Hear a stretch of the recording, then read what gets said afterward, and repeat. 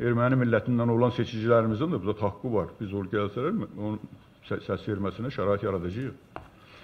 Və orada biz gözəl məntəqələr yaratdıq və ən əsas məntəqənin biri də həmin elə Xankəndində o gözəl binada, tarixi binada demək yerləşdi və orada da bizim ölkənin Ali Baş Komandanın, ölkənin birinci xanımı ailəsindən səs verdi. Kifayət qədər insanlar orada səs verdi.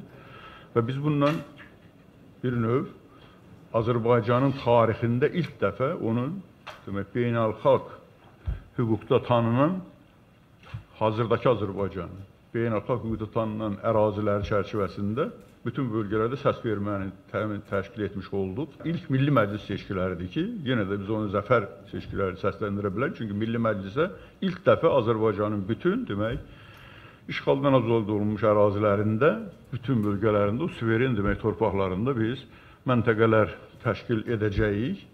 Bu il məntəqələrin sayını, demək daimi fəaliyyət göstərən məntəqələrin sayını demək keçən dəfə 26 məntəqə idi. İndi 8 məntəqədə artıq 34 məntəqəmiz bizim daimi fəaliyyət göstərir.